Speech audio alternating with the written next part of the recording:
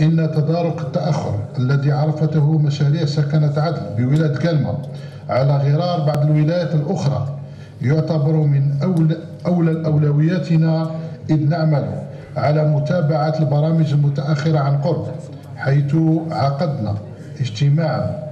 كان لي شرف أنني ترأسته خاصة بمشاريع صيغ البيع بالإيجار التي تعرف تأخر في الإنجاز بتاريخ 12 ديسمبر 2017 على مستوى الوزارة مع كافة المؤسسات العاجزة واتخذنا قرارات بإعدارات وحتى فسخ العقود معها واستبدالها بمؤسسات أخرى.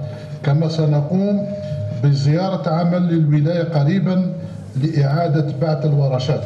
وتأخر غير معقول لكن إحنا العمل تاعنا هو استدراك هذا التأخر إن شاء الله يكون فيه الخير في المستقبل. وشكرا